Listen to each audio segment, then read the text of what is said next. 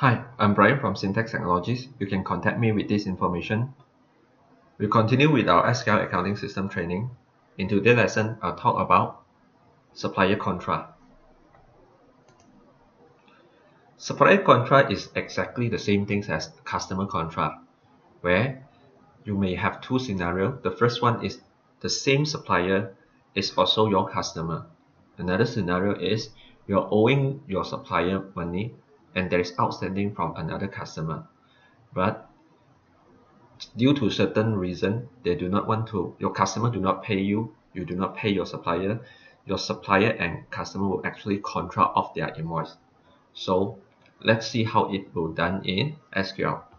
The first thing is assuming that you have one customer outstanding invoice CBA there's one invoice is outstanding 106 ringgit in total. And at the same time there is a supplier outstanding invoice also from the same person. Okay now of course he will not pay you money then you need to pay him back the same amount right?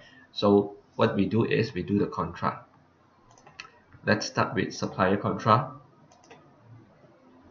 So click on new same thing. Select the supplier CBA so what is the amount to be contra?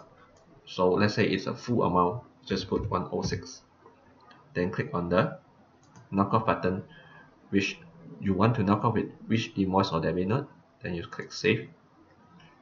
After that you go to customer side. Then you go to contra and you can see that the contra over supplier side will appear over here and the customer side is empty so instead of clicking the new button you click on edit. So you select the customer in CBA same things is 106 and this is the customer invoice that you want to knock off or contra off.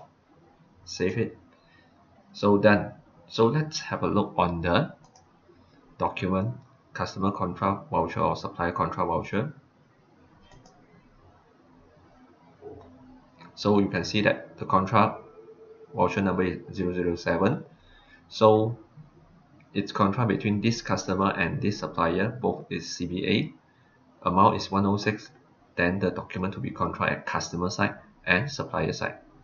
And actually when you go to supplier contra you can get back the same document. Okay? You can get back the same document 007 so whether you start with customer side or supplier side it doesn't matter because at the end both of this uh, customer or supplier will have the same document is contra. So if you have time do drop by at my web uh, facebook. Is facebook.com slash syntax technologies. You get all the latest information regarding GST and also SQL accounting system. If you want to watch others SQL tutorial video just go to my website. It's syntech.com.my then click on YouTube then you can get all the tutorial video over here. That's all for today and once again I'm Bryan from Syntax Technologies. Thank you